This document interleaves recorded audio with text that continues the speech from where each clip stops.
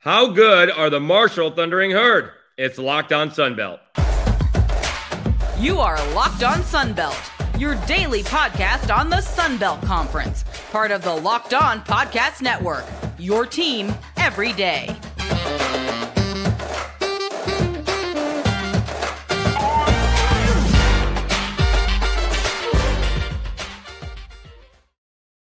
Welcome back to another edition of Locked On Sunbelt, your team every day. I'm your host, Dave Schultz. We'll be joined momentarily by uh, Luke Creasy, the uh, beat writer for the uh, Huntington Herald Dispatch, and he covers the Marshall Thundering Herd. Marshall off to a tremendous start, already 15 wins, more wins this year than all of last year.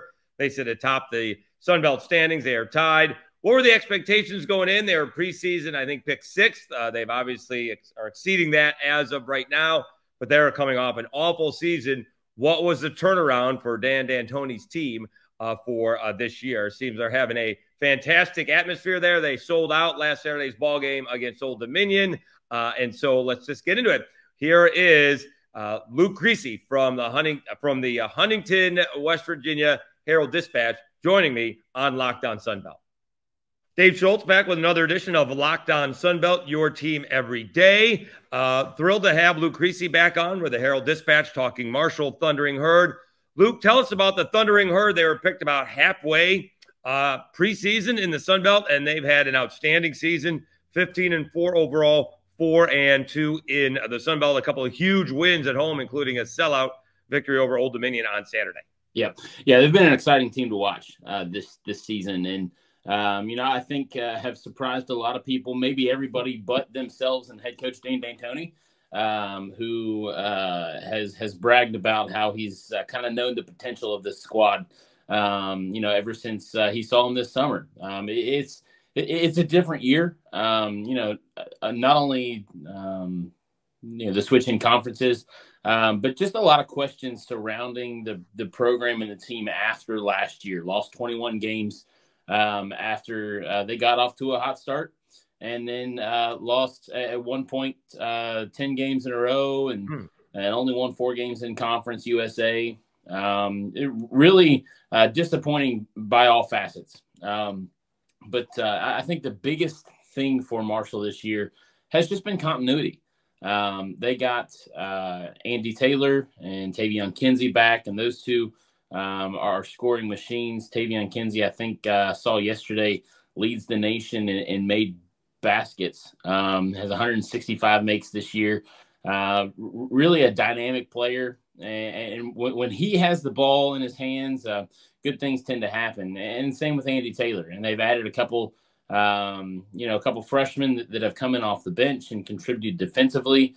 I think the biggest name um, and, and tallest guy on the team, Micah um, Handlogten, um, who has just uh, burst onto the college scene, uh, one of the top shot blockers in the country, uh, not only in the Sun Belt but the whole country, and uh, just uh, you know a, a, lot of exciting players um, who who have kind of sunken into their roles, and uh, when they are on, um, they're hard to beat. All right, so let's backtrack it a little bit. That's interesting. So they had a very disappointing year last year, and yet you said the biggest thing was continuity because a lot of people would question yeah. if you're going to go with continuity after a 21 loss season. There had to be yeah. some sort of discussion, or maybe, like you said, the guy in the middle is the difference. What what has been the biggest difference between last year and this year? And even though they got the same guys, I mean, yeah. they're, they're already won 15 ball games. Yeah, yeah, they, they eclipsed last year's win total um, a, a, couple games ago, and that doesn't mean anything to to D'Antoni. But but I think you know w- when you look at okay, you have the same players, um, and and perhaps even lost some some key role players after last year. Mm. But uh, I think that the difference is they're playing within their natural positions.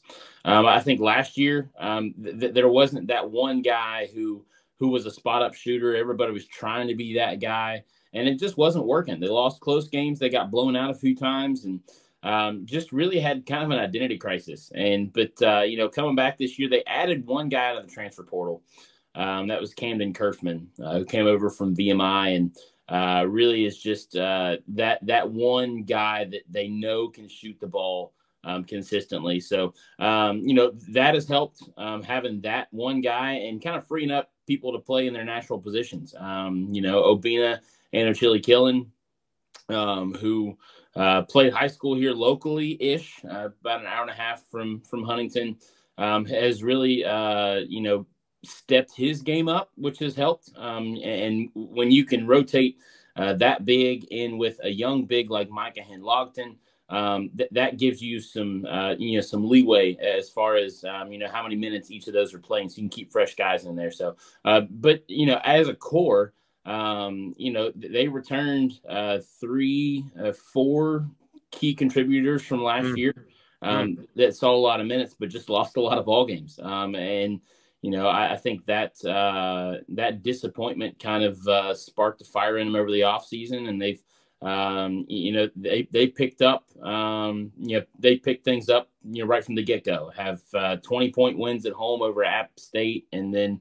um, you know, you know, beat, uh, you know, just came over, uh, beat Old Dominion in front of a sellout crowd. The environment has really picked up, um, and I think they feed off of that energy. Yeah, tell us on how. Uh, I mean, they have two of the five leading scorers in the nation. In fact, or in this conference, actually, two. Yeah of the top three with Taevion Kinsey, you said leading the nation in buckets, uh, over 21 points a game, and Andrew Taylor almost 19 points a game. How have those two guys meshed? Uh, great. Um, they have chemistry. They've been here together for four years now. Uh, Taevion's a fifth year guy. Um, and, and, I think, uh, you know, those two playing together, having seen um, some of the successes that uh, that this team has had, you know, Taevion, of course, um, was on that uh, team that went to the NCAA tournament um, in 2018. He was a freshman that year, but uh, you know th- they've seen what Marshall basketball can be, and uh, have really kind of made it their goal to get back to that. And um, you know, a, a, fresh start in the Sun Belt, a new conference. Uh, granted, some familiar faces: Southern Miss, Old Dominion. Um, you know, coming over with them, but uh, they've made it their mission, um, and they're on a mission. And I think uh, that their play reflects that, and their productive, uh, you, you, know, that their productive minutes on the court um, kind of reflect that mentality. We're talking with Luke Creasy from the Herald Dispatch, Locked On Sunbelt, your team every day. All right, so talk about that atmosphere. They actually had a Thursday ball game. Uh, which may have been a bigger ball game, but they had sold out the Saturday ball game. Obviously, one's a weekday and one's a weekend. How much? How important is it that they are selling out uh, their arena because it, it, felt like it was a big deal on social media. Um, yeah, yeah, because they sold it out well before the day. Yeah, yeah, it was. Um, you know, they had announced Old Dominion as a sellout, I think, a week prior to the game. Mm. Um, and and part of that you have to keep in mind, um, they did reduce the capacity of the Cam Henderson Center this year. Um, so if you've never been to a Marshall basketball game, they used to be affectionately called the Herd Heaven seats because you were that high up, right? That's in the arena, kind of above the rafters, all honestly. Uh, but co- concrete seats uh, that didn't have handrails, so um, not exactly safe. Um, right. You know, especially when you introduce uh, the sale of adult beverages um, at, mm. at, the arena. Uh, which happened. So they closed off those seats. Um, they roped them off, similar to what they did with the football uh, stadium this year. Um, they closed off some of those seats that uh, I, I, think actually reduced the capacity. It was just over 9,000 um, prior to that. They wrote, they tarped all of those off, have uh, nice, uh, pretty banners um, over them now. And what that does is it naturally just brings, um, you know, the people who are buying those cheap seats 30 feet closer to the court. Um, so it creates a really intimate environment and uh, they didn't raise the cost of those ticket seats, and so you're still selling the tickets. Um, you're just bringing people closer to the action, and I think uh, you know I, I, don't know if Marshall sells out that home game with Old Dominion if they open up the arena to full capacity. Um, I, I, don't think that's uh, you know in, in the works uh, to reopen that um, capacity, but it's created a nice environment, and people are excited to watch Marshall basketball. Um, you know, they, they love uh, Dan D'Antoni, uh, who, you know, of course, played for the Herd for many years, um, is in the Marshall Athletics Hall of Fame, um, and, and, really does a lot to promote the university. And so, uh, you know, they love him. Uh, they love guys like Tay and, and Andy who have stuck around in the age of the transfer portal when it's so common to see guys jump, um, you know, after having successful years. And uh, so it, it, it's the hottest ticket in town and uh, you know the, the, the guys are feeding off that energy um, that that's brought. And uh, you know they, they drew over 4,300 for a Thursday night game that was played at 9 p.m. because it was moved mm. to ESPN two. Yeah. And, and I, I, think that's impressive. Um, I, I, expected maybe 3,000, 3,500. Um, but but when you're drawing over 4,000 um, uh, on a school night, uh, you're doing something right. Well, I'll tell you that, yeah, because that was on ESPN too, and I didn't realize it was late at night until I was waiting for it to start uh, at the South Alabama game. But even South Alabama had issues when they had Alabama in town the year before, a couple years before. They had uh, sold out the Auburn game, but this game was at 8 p.m. and I'd say it was 90, 95% sold out. But if it was a seven o'clock ball game, it would have been sold out. And yeah, boy, that you know, you even hear it from administrators because the conference loves it when it's on national TV, and that Marshall game yeah. was.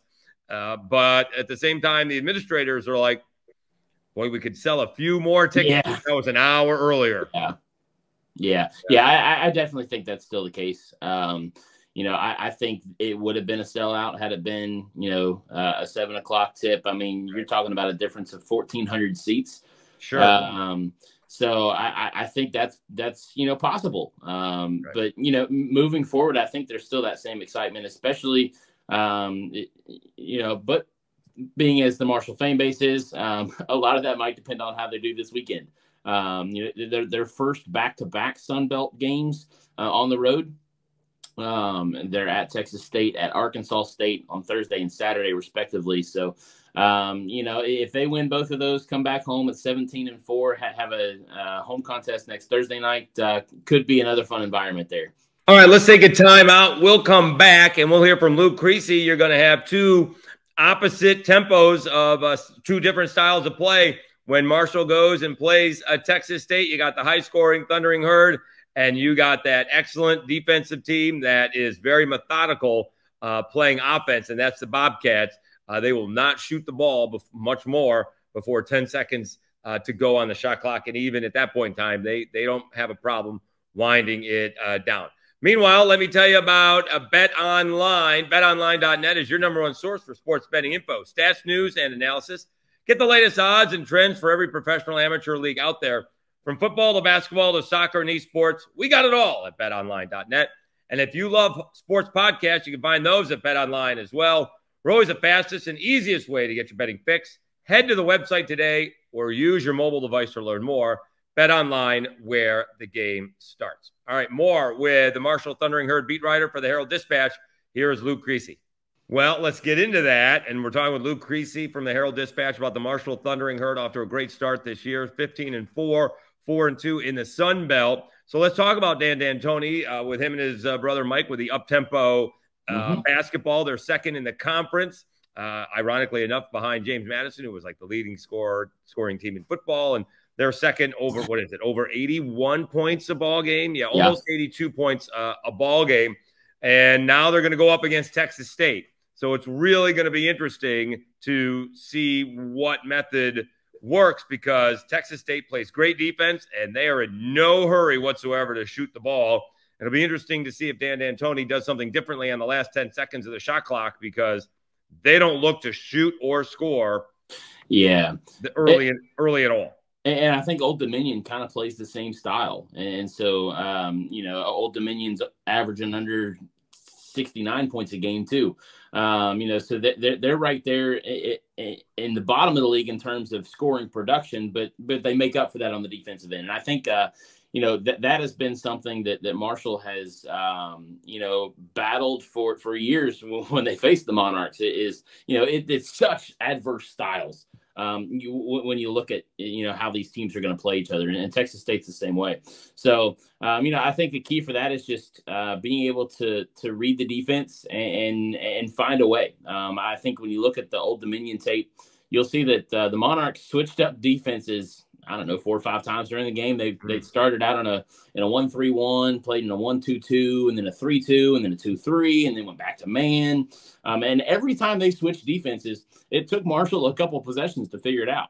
Um, you know, they would go on on stretches where they shoot uh, I don't know two for seven, and then rattle off once they figured out they make four buckets in a row, and then you know, and th- that's kind of how um, you know Marshall managed that uh, against Old Dominion last Saturday. Um, now, the, the, the downside of that is, you know, that keeps your opponent in the game. Um, Old Dominion, uh, you know, Marshall had an 11 nothing run to start the second half, um, then went on a little cold streak. Old Dominion fought right back into the co- contest, um, you know, and then it took another 10 nothing run to create that space at the end of that ODU game to to be comfortable. And uh, so I, I, think that's going to be the key. You know, can Marshall replicate that defense uh, that that Texas State is going to present in practice? I think this being a Thursday game versus Saturday helps mm. that because right. with the Thursday Saturday turnaround, you got one day to prepare um, you know, for that. And um, and that that was a lot of the issue for Marshall is they couldn't replicate that stuff in practice um, because you know they they weren't um, you, know they didn't have time. So um, I I think uh, ha- having a you know four or five day stretch to prepare for that might be beneficial to the herd, but uh, they're going to have to play. Um, you know, deep into the shot clock, like you mentioned, um, and they're going to have to to find ways to turn Texas State over and turn those turnovers into points. Yeah, so let's talk about it on the other side because I think Texas State is going to stay in a man to man. I don't know how often they change defenses, but what does Marshall do in like the last 10 seconds? It's really hard to say defend for 20 seconds and then defend harder for 10. And Texas State made at least four or five baskets as the clock shot was winding down or at the end of the half. Uh, and so they don't panic, right? They're very used yeah. to it, like, like shooting three, two, one. Uh, and that's not a problem for them. Uh, at least with South Alabama, I would have liked to see maybe double the ball, right, with like five seconds, or just do something a little different. And if you give up a layup or two, but maybe you, you know, get a steal in there as well, just to see a little confusion, uh, just to change things up. And you know, and the thing is with what you mentioned, you know, there's room for error, a very little room for error with Texas State because they are yeah. not high scoring and they're really good defensively. So if they make a couple of plays at the end of the game, they win. If they don't make a couple of plays, at the end of the game, then the other team wins. Yeah. Uh, it'll be interesting to see what Marshall does, not only offensively against a Texas State defense, but what Marshall tries to do against Texas State defensively as that shot clock is winding down again and again and again. Yeah, I, I wouldn't be surprised to uh, see D'Antoni uh, bring in some sort of a press, um, you know, to, to, to limit how much half court defense they have to play.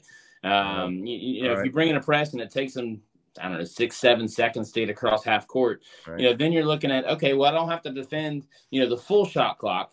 Um, you know, right. and, and, then that, that gives the defense time to sink into to what they want to do. Um, Marshall's defense uh, is long um, and mm-hmm. and they're active hands, and so I think you're going to see a lot of that. But um, you know, Marshall's going to try and create that press to create the turnovers because Marshall plays its best ball out in transition. Um, that's been the way it's always been under Dan D'Antoni, and and that's uh, you know an important piece of what they do, uh, not only offensively or defensively, but offensively as well. Is creating those turnovers to force other teams to be like, okay, well, we need to speed it up now uh, because you know we can't make up these points because we don't have the possession because we always play so slow. And so I, I think uh, you're going to see a, a, lot of the active defense up front early in the possession. And then, you know, as that shot clock runs down, uh, Marshall's probably just going to settle in. I don't know how aggressive they'll be late in the shot clock, um, you know, because they have confidence in, in, their guys underneath to to be able to be big enough to to block shots and, and you know and close off some of those lanes. So um, you know, I think it, will be an interesting dynamic, but. Uh, you know, I, I, don't think Marshall is the kind of team, you know, kind of like you were talking about Texas State. They don't panic late in the shot clock offensively. Yeah. Marshall's not going to do that defensively either. Hmm. All right, let's wrap things up with Luke Creasy from the Herald Dispatch talking Marshall Thundering Herd. Uh, we do have some teams at the top. You got six teams uh, that are four and two in the conference. A lot of them are very good, and then very exciting about ULM. Actually, they they you know the half their wins are in the conference. They haven't won more than five ball games since like the 18-19 season in the conference. Uh, but yet, it still appears that the Sun Belt is going to be a one bid league to the NCAA tournament. No one's ranked. No one seems to be getting close to ranked. And now they're playing each other. So there was no huge, big Power Five victories that could propel them into the yeah. you know, top 25 ish. And yet, you're going to have someone's going to be left out because these teams are really good. How, how does the have you talked to the players about that at all? How does the coach feel about it? Because that's just reality. And there's so much pressure especially when you you know when yeah. you're, you're a Bob Marlin at, at, Louisiana, always seeming to go up against Georgia State, and you know only coming up uh, big once, uh, and that the whole season is based on not you know, the three and a half months of the season, but one weekend. Uh, and it all comes down to that. And it depends on how healthy you guys, you know, how healthy they are. You know, Cajuns weren't healthy a few years ago. They came up short. Uh, yeah. South Alabama wasn't healthy last year. Uh, they come up short, uh, and it ends up being disappointing. And obviously, Marshall has one of those teams that could easily win the tournament, but they got to be healthy to do it. And you know, it, to me, it kind of stinks that the whole season comes down to three, you know, three or four days. Uh, yeah, well, Pensacola is a nice place for that to happen. oh, well, uh, yeah, well, yeah, that's true. Um, but uh, you know, I, I think you're spot on there, Dave. Um, you know, and, and that's the reality of college basketball. Once you get outside of the Power Five, um, you know, because there are always going to be I don't know six, seven SEC teams in there, and you know, you'll always have a few right. from the Big Ten, and um, you know, it, it, really limits the spots uh, for you know for the the group of five schools, and um, I think that's just the reality of, of, college basketball, and I don't think um, you know these guys are focusing too much on that because that was always the same story in Conference USA too. It was always a one big li- bid league, and um, you know unless you know a team comes w- roaring out of the gates and you know launches into the top twenty five somehow, and but uh, you know I, I, think the interesting thing for Marshall, I, I mean I'm I'm looking here at the schedule. Um, you know the, the top five teams Marshall plays four of them again this year. Um, mm. You know, they're at James Madison, they're at Louisiana, um, they're at Coastal Carolina. Um, and so, you know, a lot of these late season matchups, um, it, it's going to be exciting to, you know, to see, um, you know, how Marshall fares down the stretch because you're not seeing teams for the first time. You're seeing a lot of them for the second time. They already have some tape on you. Um, and I think that just ramps up the uh, you know the anticipation for some of these games, and especially when you get to the conference tournament. Um, you know, I, I, think a lot of the seedings are, are going to come down to the last week. Um, you know, those Wednesday, Friday matchups, and you know, I think there's going to be a lot of unknowns heading into that week in terms of seeding. And man, I love the way the Sun Belt tournament is set up. The four, t- the top four seeds get uh, you know that double bye, and um, you know, and, and it's it's it's going to be a, a, a fight scratch and claw your way to those top four seeds. And, um, you know, ought to be an exciting finish to the year. And I, I know we got uh, about a month or so left. So, yeah, a little bit more. What uh, what are you featuring here uh, in the Herald Dispatch uh, about the Marshall Thundering Herd coming up? Well, it's been uh, kind of a crazy news day all, all over the, the athletic scene. All right. Um, you know, here from Marshall, uh, Owen Porter, the defensive lineman, uh, announced that he was going to come back. So we've got that. There have been reports that, that have linked to Marshall's defensive coordinator to the job at Tulane. And uh, so lots going on. But, uh, you know, I, am trying to lock in some uh, some basketball stories and – I think one of my favorite stories um, out of this team isn't with the starters; it's with the bench. Um, people will look at the the Marshall bench and say, "Well, they're not scoring. What are they actually doing?" Um, and they're not scoring a whole lot of points. Um, you know, the, the uh, I don't think uh, they've scored in double digits. You know, many games in conference, if any at all, um, from the bench. But uh, they're getting a lot of that defense from the bench. Um, Jacob Connor is is one of my favorite players to watch. He's all hustle out there. Um, he really brings the energy, and um, you know I think he had uh, four steals against Southern Miss, maybe another three against um, Old Dominion um, on Saturday night, and so I, I, I look beyond the, the uh, scoreboard um, for a lot of that, and you know I think uh, when you're a team like Marshall that that can score the ball and, and can play well defensively, it's all about the energy. Um, and I, I, think some of that energy coming off the bench is really helping sustain some of, um, you, you, know, uh, Marshall's success this year. That's your new podcast, right? Beyond the scoreboard. Beyond. Hey, that's good. That's pretty good name. I like that. All right, another time out. I want to again thank you very much for uh, listening or watching uh, Locked On Sunbelt. Please subscribe uh, in YouTube or wherever you get your podcast. That's a big help. Uh, you can press the uh, bell button as well to get notified when we do drop new episodes. Uh, and that is a big help to the overall uh, episodes and, and, myself as well. So we do appreciate it when you do uh, subscribe. All right, one more question, actually, a couple more questions, and it's football related. Uh, what happened with uh, Rasheen Ali prior to uh, the season with the Marshall Thundering Herd football team? Yes. All right. I am going to ask you, I'm going to sneak in one football question. Khalan Laborn, the Sun Belt uh, leading rusher, uh, mm-hmm. has moved on. Uh, I guess, declared for the NFL draft. But. Rasheen Ali came back at the end of the year. How big was that for Marshall? Uh, do we know what went on? And if you can't be specific, that's fine. Uh, but we're glad that he's back on the field and and really contributed down the stretch for Marshall. Yeah, he missed the first 10 games and led the team in rushing the last three. Um, so that kind of shows you his immediate impact. Was named the Myrtle Beach Bowl most valuable player. I had a couple big runs there, and um, it, it was it was an injury in fall camp that uh, that, that came out, and and I, I think uh, Marshall had tried to be a little secretive and protective of that information um, up front when it was first announced. Um, because there wasn't a whole lot of of information available. They just That's said, "Here's right. And so and so it seemed like it came out and it was more of a well, lack of a better term, it seemed like it was more of a mental issue than a physical issue. And it, there shouldn't be a stigma with that, but there is. Yeah, and, and it, it was definitely a physical issue. And I think Okay. the mental aspect played some part in it because Rasheen Ali hadn't dealt with an injury like that before. Well, sure. Um, Sure. and and so you know he was trying to work his way through that, and I think uh, Khalan Laborn was actually great in that because Khalan um, had a knee injury as well too, and so you know Rasheen Ali comes back, plays with a brace on that left knee um, for those three games that he was there, uh, but uh, just good to see him back to full health Right. um, and and I can I can pretty confidently say he's at full health now because I watched him. He's actually running track at Marshall now too. Oh, Um, and so he, he ran the 60 meter dash in uh, six nine five. So uh, he he was flying down the uh, down the home stretch there, and uh, there are actually quite a few football players that have done that. Uh, three of them ran seven flat or below in the 60 meter dash. So, uh, you know, having Rasheen Ali back helps that backfield and, and certainly uh, will help going into next year uh, because there's no indication that, that, that he's going anywhere else. all right. So see if you can take the sprinter. Let's see. Can he run an 800 to your 400? Oh, uh, he probably beats me. Oh, see, those sprinters run Yeah. out of gas. I don't know. You only got to do one lap. I, I, I've you only got to do one lap. I, I've never timed my 40, um, but I have timed 100 before, and I was at like 11. That's a Um, sprint.